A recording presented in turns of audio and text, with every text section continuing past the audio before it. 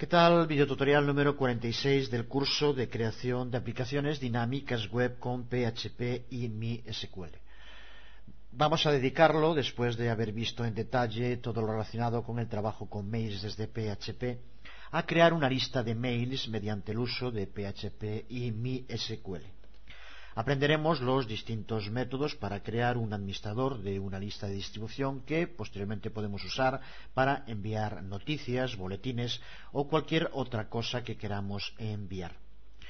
Lo haremos mediante la creación primero de una lista de direcciones en una base de datos, direcciones que podrán ir incluyendo mediante el formulario que tenemos en pantalla los propios usuarios.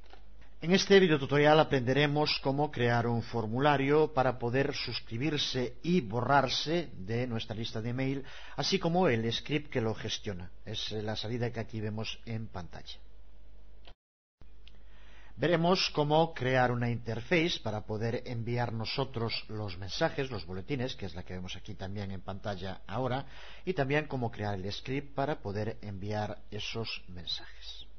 El funcionamiento es muy sencillo. Eh, tenemos creada una base de datos, una tabla, en la que guardaremos las direcciones email y a través de este formulario tienen que incluirnos cualquier dirección y eh, podrán, a partir de esa dirección, bien suscribirse a la lista de emails o bien borrarse de la lista de emails.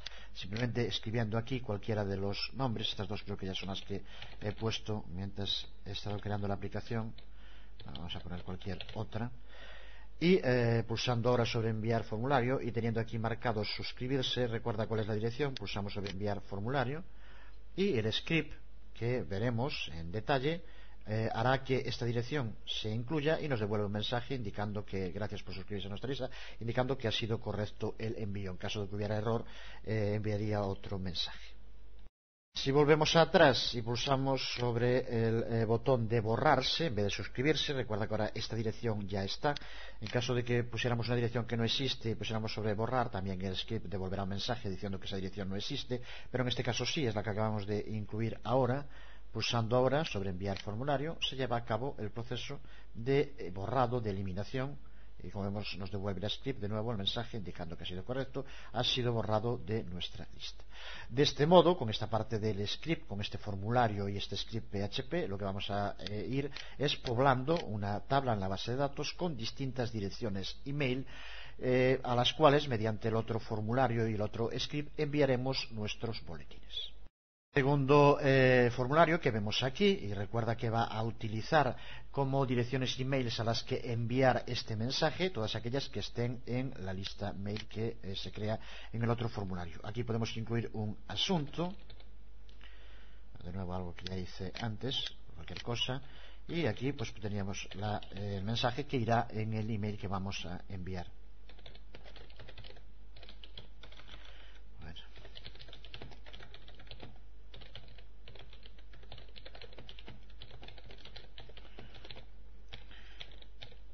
Pues como cualquier información que enviemos en eh, un eh, email. Una vez hecho, pulsamos sobre enviar. El script lleva a cabo el proceso de enviar los mails a las distintas direcciones y aquí nos devuelve las direcciones que tengamos en ese momento en eh, nuestra lista de emails. Hay dos estos emails y ahora viéramos en la la ventana del Outlook del eh, cliente mail veríamos cómo he recibido en estas direcciones los dos mensajes. Pues eh, una vez visto el funcionamiento de esta eh, aplicación, es sencilla, pero que como ves tiene una gran utilidad, la podemos utilizar como sistema de creación de una lista mail para mantener en contacto con nuestros usuarios Vamos a ver el proceso de creación, como siempre, paso a paso.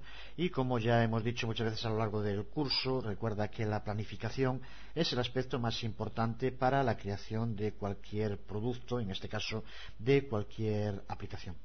Tenemos, por lo tanto, que pensar en los elementos que vamos a necesitar para poder crear esta aplicación de lista mail.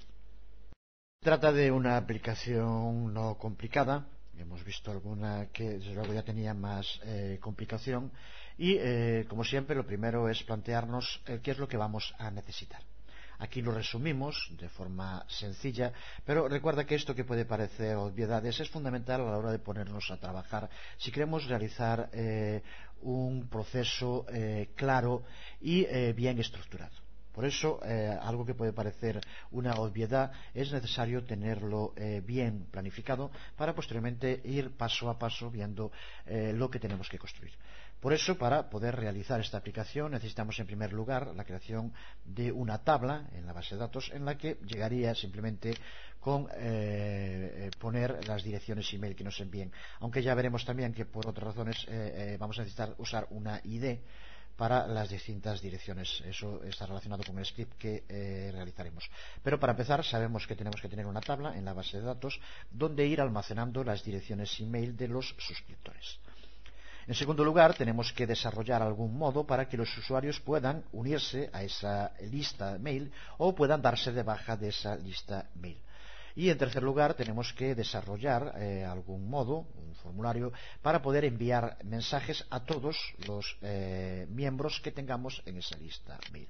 Por lo tanto, son estas tres partes que vimos también en la eh, aplicación terminada, por eso ya puede que esto suene un poco a redundancia, pero recuerda que estamos intentando reproducir el sistema para crear la aplicación desde cero y este, esta primera aproximación, pensando claramente qué es lo que quiero conseguir y qué necesito para conseguirlo, es algo imprescindible siempre en el inicio de cualquier trabajo.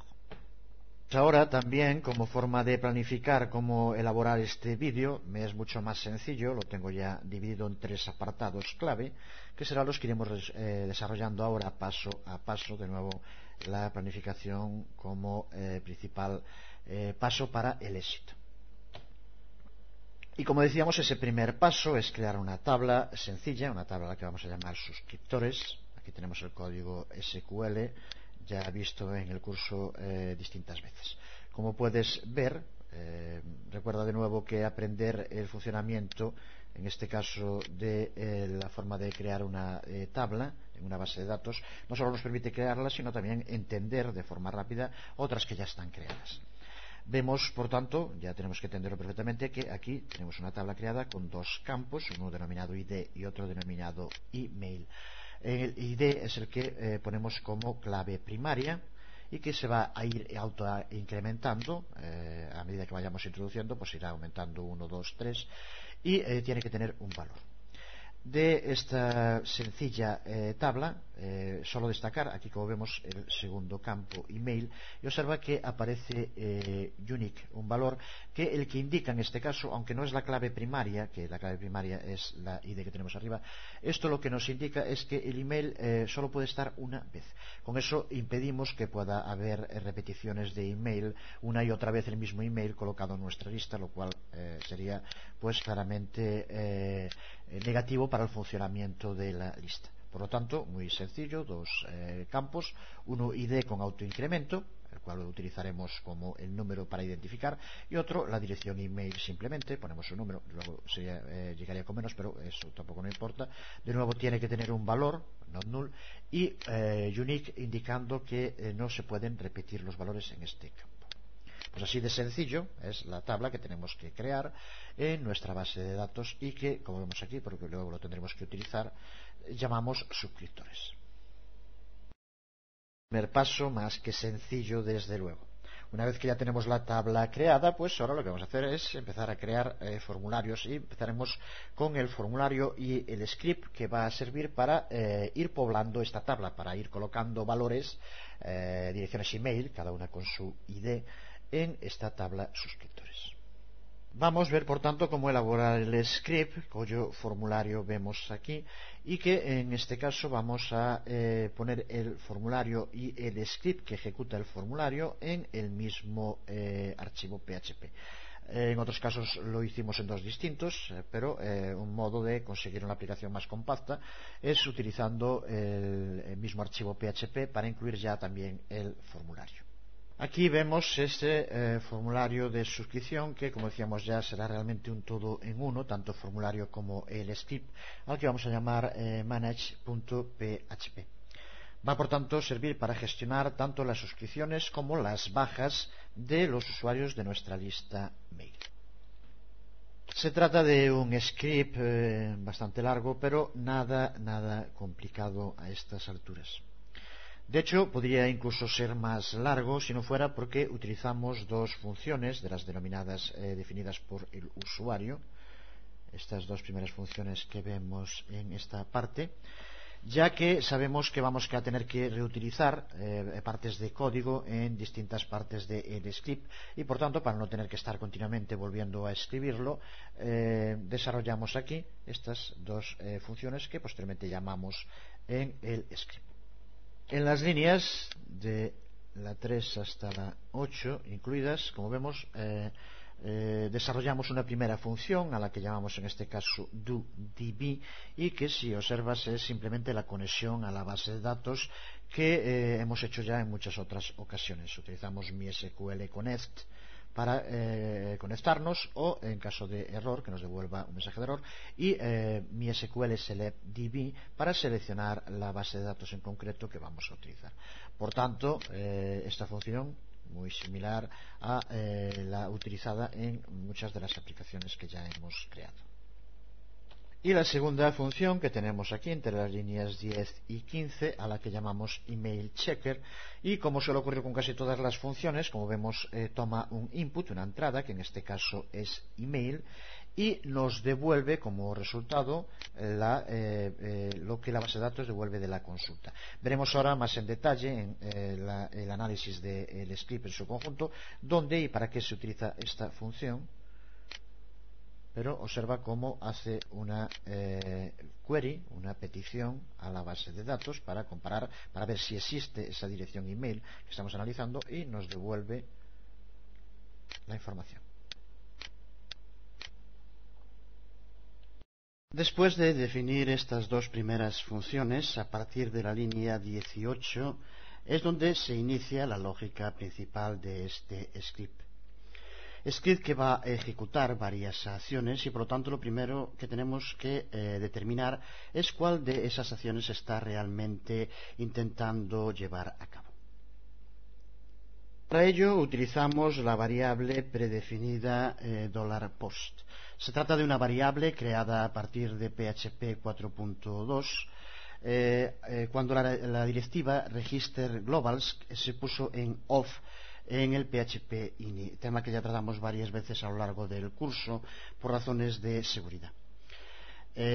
lo mismo ocurre con otras variables usadas en el script a las que haremos referencia posteriormente. Puedes obtener más información sobre estas variables predefinidas en el manual online en castellano, recuerda, de PHP.net. Aquí tienes una lista de todas ellas, las variables PHP superglobales, con eh, sus usos. Aquí puedes ver más de cerca la dirección donde tienes la información en castellano, recuerda, sobre las variables predefinidas y aquí sobre la variable eh, $post en concreto. Para entenderlo, si queda alguna duda, podemos decir que se trata de una variable superglobal o global automática, es como se denominan en PHP. Y simplemente lo que quiere decir es que está disponible a lo largo de todos los contextos del script sin necesitar usar para ello global que recuerda que es lo que convertía las variables en globales. Por lo tanto, podremos acceder a ella desde dentro de funciones o métodos del script sin tener que hacerlo global como ocurría antes con la que se utilizaba en su eh, eh, sitio que era http postbars ese post, esta variable superglobal, hace referencia a, uno de los dos métodos de envío de datos a través de formulario en PHP, el método get y el método post, de los que ya hemos hablado otras veces a lo largo del curso. Existe, eh, desde luego, también la variable eh, superglobal para get. En este caso, eh, utilizamos post en el formulario, que recuerda que va en el mismo script, y, por lo tanto, usamos $post. Se trata de un array asociativo, que también tienes que saber ya perfectamente de qué hablamos. Y eh, lo que hace es pasar al script eh, todas las distintas variables que utilizamos en el formulario mediante el envío del método post. Si ves aquí abajo, ahora veremos por qué, aquí tenemos el formulario, observa cómo el método que se le indica es el método post. Y después observa cómo aquí tenemos los arrays asociativos que creamos con el nombre y el valor. Y aquí en valores como vemos tiene valor sub, un sub ds y estos son los que se le envían y que se registran en un array que contiene ese post. Ahora como vemos aquí lo que le indicamos es que mire cuál es eh, el array asociativo que en ese momento, el elemento del array asociativo que en ese momento está indicado. Observa aquí, por ejemplo, ds es uno de los que aquí enviamos. Esto nos permite determinar, ahora lo vemos un poco más en detalle después de explicar lo que es esta variable superglobal, eh, nos permite ver en cada momento eh, qué tipo de acciones se han llevado a cabo sobre el formulario, si se ha cubierto, si aún no se ha cubierto, y dependiendo de eso vamos a determinar eh, qué parte del script se va a mostrar. Por tanto, este es el sistema que utilizamos para determinar eh, cuál de las acciones que se puede llevar a cabo en el script se está realmente intentando. Si el valor de ese post, como indicamos aquí, no es ds, sabemos entonces que el usuario todavía no ha enviado el formulario y por lo tanto tenemos que mostrárselo para que lo cubra. Lo cubra, perdón, que es esta otra parte que aparece aquí. Las líneas de la 20 a la 33, esta parte que ves eh, aquí, son las que crean el formulario y para ello usamos, de nuevo aquí lo tienes, dólar server php self. Se trata de, de, nuevo de una variable superglobal de la que puedes encontrar eh, información más concreta en este enlace.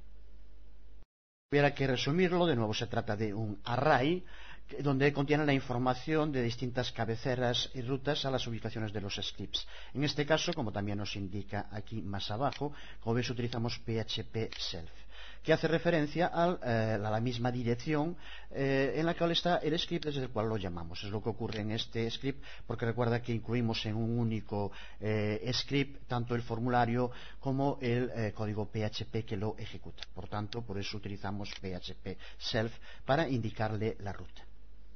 El formulario, como vemos, crea un campo de texto al que denominamos email, donde va a escribir el usuario su dirección de email. Y configuramos después un conjunto de radiobotones, que son los que vemos en esta parte, donde se va a determinar eh, la tarea que se desea eh, hacer, bien eh, suscribir o bien borrar, fue como lo denominamos en este caso, a el usuario.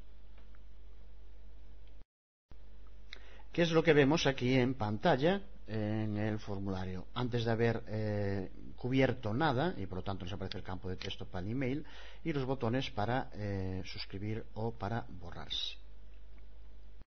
Llegado a este punto, lo que hace el script es salirse del else if que estamos utilizando y se va hasta el eh, final del script donde tenemos el código HTML que hace que se muestre en pantalla el eh, formulario.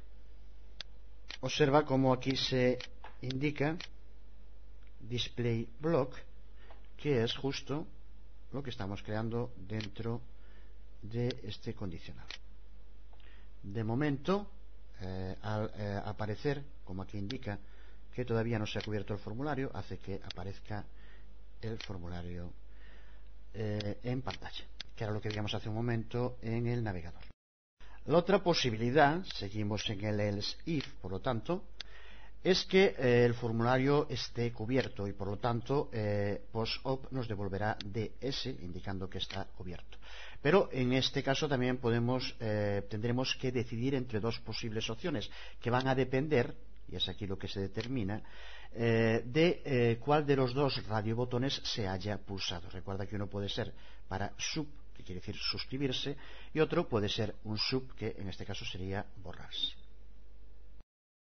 Aquí lo vemos en esta línea 35, si eh, post-op es de S y post-action es sub, sabemos que lo que ocurre es que el usuario está intentando suscribirse, ha escrito ya una dirección email y lo que quiere es eh, suscribirse a nuestra lista de email. Para poder suscribirnos necesitamos que tenga esa dirección email eh, incluida. Lo que hacemos en esta primera parte, con un condicional, es en caso de que no, eh, el email esté vacío, lo que hacemos es devolverlo de nuevo al formulario para que lo cubra. Si escribió una dirección email y por lo tanto no se cumple este condicional, existe un valor para email, entonces lo que hacemos es llamar a la función dodb que, eh, si recuerdas, eh, eh, definimos aquí al principio y que es simplemente una conexión a la base de datos. Lo vemos aquí en la línea 43. Realizada la conexión, tenemos que hacer una o eh, dos, dependiendo eh, peticiones, queries a esa base de datos. Vemos aquí como en la línea 46 utilizamos la otra función predefinida que creamos al principio, email checker. Recuerda que es la segunda que tenemos aquí creada, como ya indicamos antes.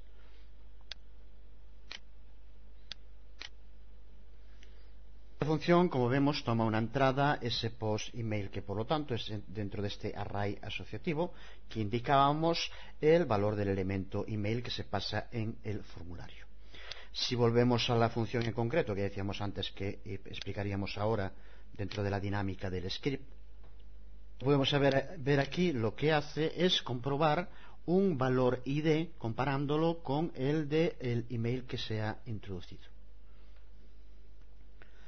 Por lo tanto, nos devuelve el valor ID para ese email, para esa dirección email incluida, y lo guarda en la variable checkResult, aquí lo vemos, que será la que utilicemos ahora dentro del script. Observa cómo dentro de las dos funciones hemos definido las variables como globales. Por lo tanto, nos permite utilizarlas eh, dentro de cualquiera de las funciones del script. Y sí, ahora saltamos a la línea 46, es aquí eh, donde vemos cómo utilizamos esa variable checkResult que eh, recuperamos eh, de la base de datos lo que hace en esta parte es comprobar el número total de eh, grabadas eh, que nos devuelven check result. Si resulta que es eh, un valor inferior, por lo tanto menos uno, indica que no está en la lista y por lo tanto se añade el nuevo email. Si resulta que ese valor ya existiera, lo que hacemos es indicárselo, ya está suscrito a nuestra lista, con esto evitamos que aparezca más de una vez una misma dirección email. Llegado a este punto, de nuevo lo que hace el script es saltar al final e imprimir. En este caso eh, no aparecerá el formulario porque ya está cubierto, como eh, indicamos antes en el proceso de comprobación por parte del script. Con el propio formulario, aquí eh, de momento no hemos mandado dirección, por lo tanto no se aparece el formulario, pero ahora en cuanto lo enviemos, recuerda que sigue utilizando el mismo eh, script, pero al determinar que ya ha sido enviado el formulario, cambiará el aspecto, se lleva a cabo el script, se comprueba, al no estar la dirección la va a incluir y nos devuelve el mensaje, gracias por suscribirte a nuestra lista. Si pusiéramos un email eh, que ya estuviera, nos devolvería el mensaje indicando que ya estaba en la lista y recuerda, eh, bueno, la parte de borrarse que veremos ahora. Porque justo esa es la otra posible combinación que puede darse desde el formulario, que es la que vemos aquí, desde la línea 58 hasta la 62, 63, cuando ya se eh, termina esta parte del script.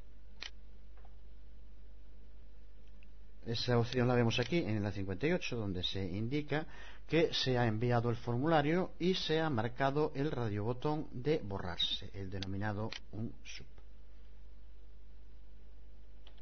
De nuevo, para intentar borrarse, tiene que haber pasado una dirección email.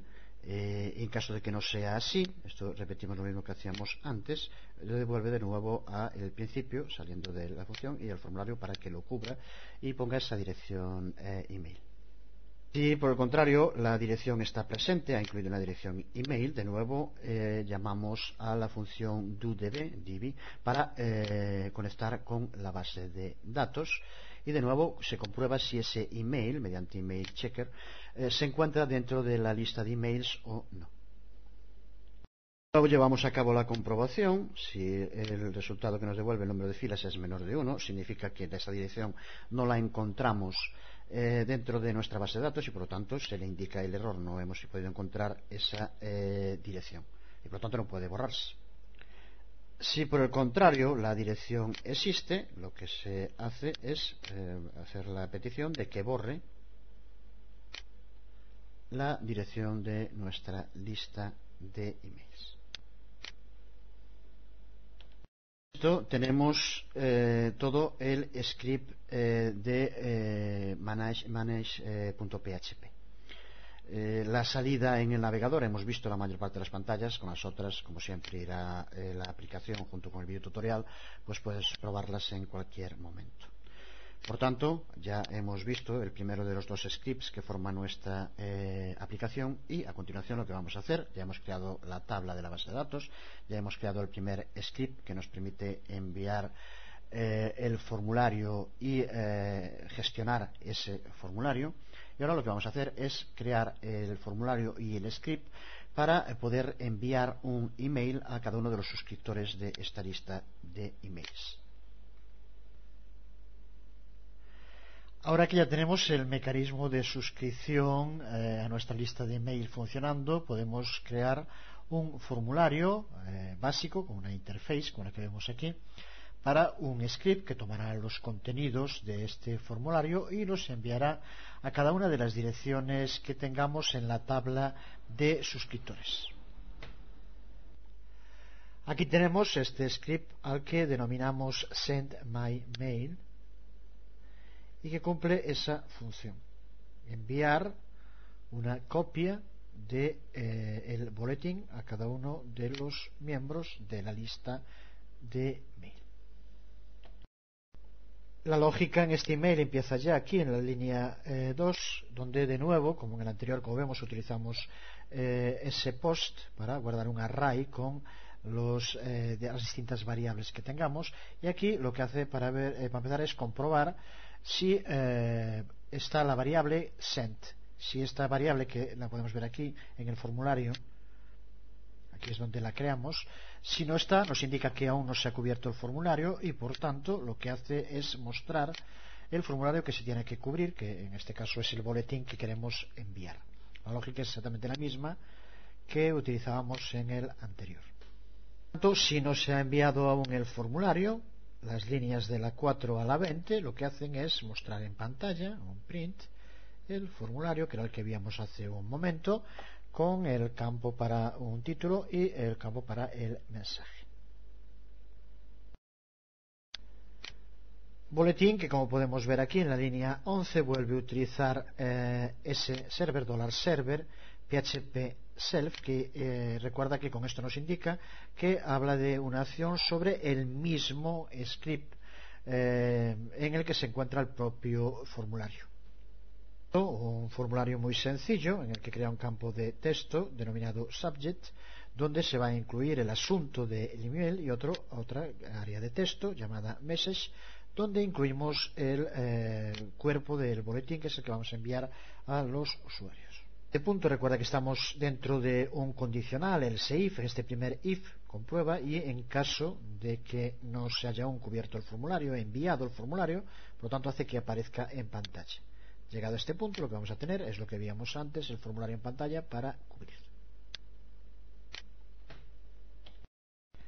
La otra posibilidad que vemos en este else if es que eh, aparezca como enviado, por lo tanto, eh, $postOp sea sent.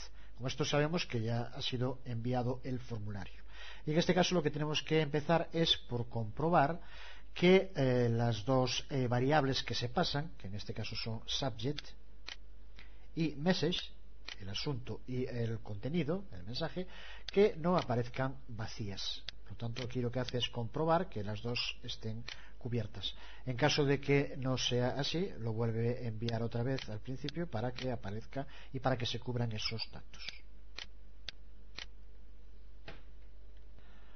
Una vez llevada a cabo esta comprobación y si los ítems requeridos están presentes, entonces el script avanza a la línea que tenemos aquí, la 30 y la 31, que como vemos de nuevo es una conexión a la base de datos. Un proceso repetido en multitud de ocasiones, en este caso a la conexión la denominamos variable eh, con, y indicamos como siempre los datos y el nombre de la base de datos a conectar. Y después guardamos en otra variable SQL la, eh, la query, la, petición que hacemos, que es que seleccione de email eh, el campo email de suscriptores, que recuerda que es la tabla que creamos para recuperar todos los emails que recuperamos justo aquí. Nuestra mi SQL query, SQL, aquí vemos eh, la petición y con que es la conexión. Modo ya tenemos aquí almacenado una variable a la que llamamos result eh, los emails de nuestra lista de mails. Y ahora aquí, en la línea 38, eh, perdón, como vemos, creamos una cabecera para el mail que eh, guardamos en la variable headers. Indicar que aquí la consulta es la más sencilla posible, simplemente indicamos que seleccione eh, todos los emails de suscriptores eh, aparecer eh, van a aparecer en todos los emails tampoco por orden alfabético aunque eso podríamos hacerlo si quisiéramos utilizando la cláusula order by que ya vimos cuando hablamos de eh, mi SQL y puede repasar en esos videotutoriales del curso como decíamos en esta línea 38 creamos un from mail header que va a ser usada ahora dentro del loop while que creamos para recuperar todos los emails de nuestra base de datos. La cabecera lo que hace es asegurar que el email va a verse como enviado por una persona y no por una máquina. Ahora, para extraer los resultados que eh, recibimos de la base de datos y que tenemos guardado en la variable result, recuerda, lo acabamos de ver hace un momento, usamos, como ya hicimos en tantas otras ocasiones, un loop while y eh, la utilización de mi SQL fetch array para recuperar eh, todos los datos de esa base de datos como un array.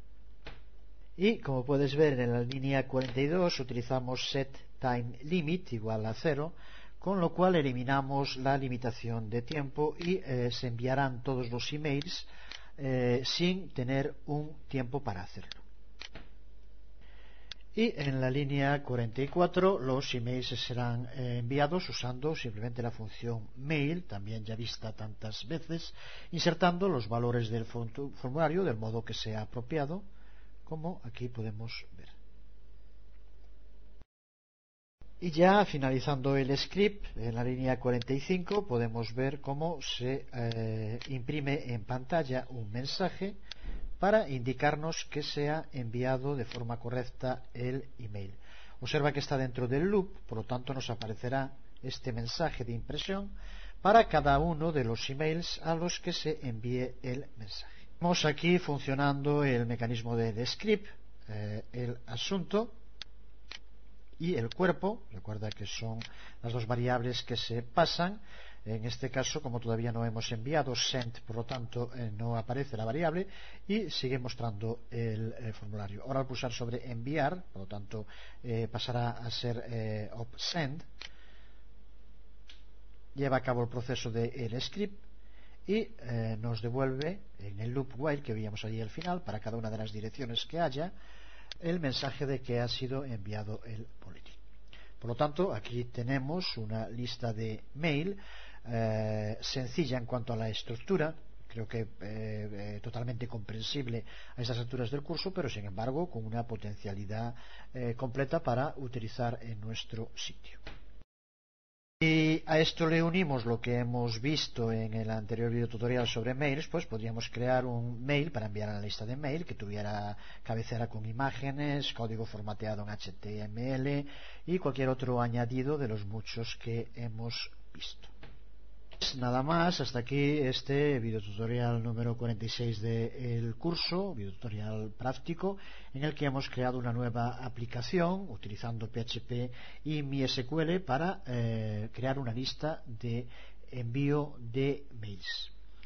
Incluimos tanto la creación de la tabla de la base de datos como el mecanismo para poder suscribirse y borrarse y el formulario eh, y el script para poder enviar los boletines.